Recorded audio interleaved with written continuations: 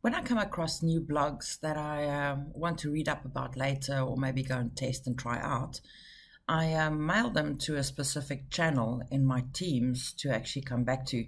But of course, you can end up with so many items you've mailed yourself that you actually forget about them because, of course, that's what we do in Outlook, isn't it?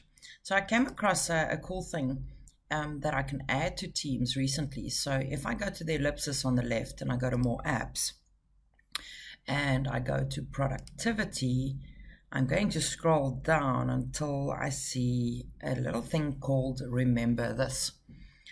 So remember this, let's have a look. Um, it's all about reminding you of important things. So I'm going to go and uh, add this to a specific um, team. So let's have a look. Um, features, chatbot. So select the team. There we go. So I'm going to add it to that specific team um, and then I'm going to say install.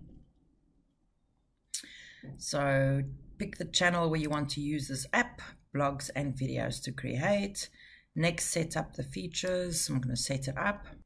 I came across, uh, remember this um, in this blog post, so uh, by Thought Stuff um, UK, and um, it's a cute little add-in a free add-in that was written to use in Microsoft Teams to help and remind you of, uh, of using or um, going back to specific conversations. So as soon as it's installed um, on a specific channel in your team, I can then go and reply to a specific post and go at remember this. Let's just go type that right. There we go.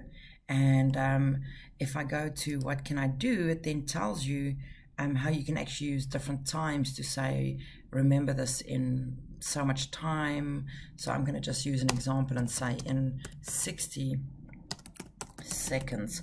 So let's try that and see um, what it then does. It's going to um, add a little remember this to it. And that means it should actually come back into the conversation in 60 seconds.